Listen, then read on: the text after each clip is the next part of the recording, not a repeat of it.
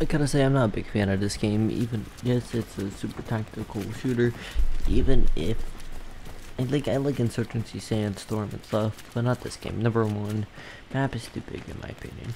Yes, I do think it does fit the world, um, setting a lot, and you don't want to die because then you have to walk all the way back, stuff like that. But it's just not my type of game. If you like that, good for you.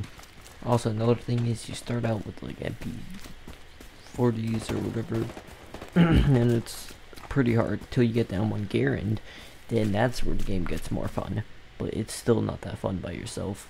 In my opinion, it's better having a coordinated team.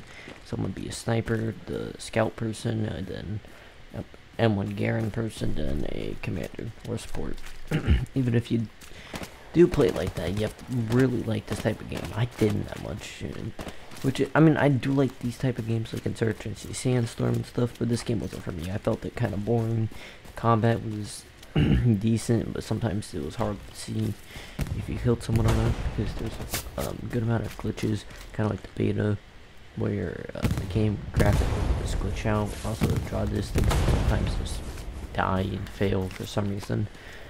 Stuff like that, you know? So, it's good for a PS Plus game, but I don't know if it's good for a game you want to buy for full price or at at the price it's selling. I'm trying to make you buy that. Okay. And also, I think this game might be better on PC. The console controls are fine, but I don't know. it it does have a lot of bugs though. Um, what else? Gameplay itself. Is there enough content? Well, I I would say so, but but you have to really like this walking simulator till you get to the battle and that's where it gets more fun but like i said still very hard to i don't know it's just hard to get into for me you know?